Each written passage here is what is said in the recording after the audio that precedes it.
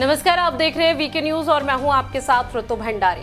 कांग्रेस लाख दावे कर ले कि पार्टी के अंदर खाने में सब ठीक चल रहा है, लेकिन हकीकत ये है कि पार्टी संगठन के रूप में भी बिखरी हुई है। और हर बार की तरह इस बार भी कांग्रेस कमज़ोर नज़र आ रही है। चाहे मुद्दा कोई सा भी हो, हाथरस मामले में कांग्रेस सबसे आगे जितनी नज़र आई थी, उतनी ही अब राजस्थान या फिर छत्तीसगढ़ में दुष्कर्म के बढ़ते मामलों में पिछड़ती हुई नज़र आई। वहीं जनहित के मुद्दे उठाने में भी हर राज्य की कांग्रेस बाकी पार्टियों के मुकाबले कमज़ोर ही नज़र आई है। पार्टी की तरफ़ से लगातार बैठक की जाती है ताकि जनहित मुद्दों के साथ साथ कांग्रेस अपनी पहचान मज़बूत कर पाए।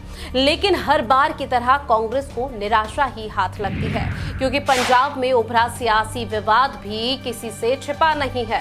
अब चुनाव से पहले यूपी की राजनीति में कांग्रेस के अध्यक्ष अजय कुमार लल्लू के बयान से सियासी पारा एक बार फिर चढ़ गया है।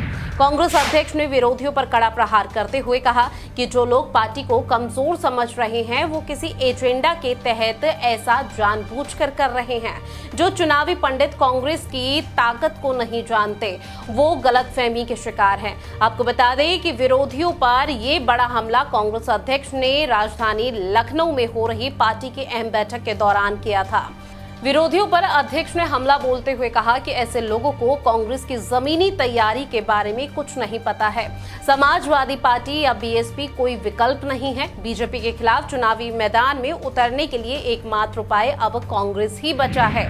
कांग्रेस अध्यक्ष ने बेशक इतने बड़े बयान अपनी तरफ़ से जारी कर दिए हैं, लेकिन इस तरह के बयानों को जमीनी स्तर पर अब कांग्रेस अमल कैसे करेगी?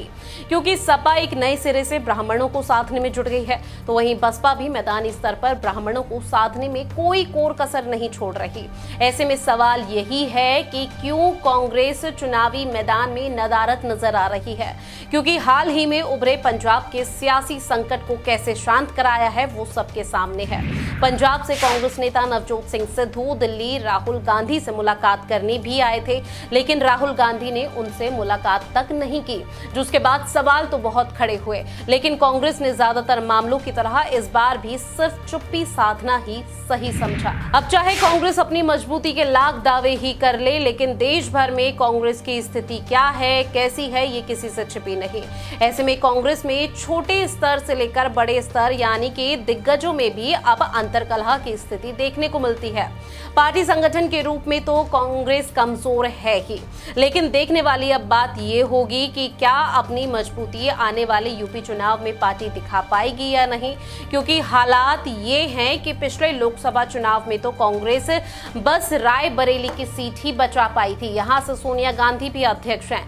राहुल गांधी तक अमेठी से चुनाव हार गए थे।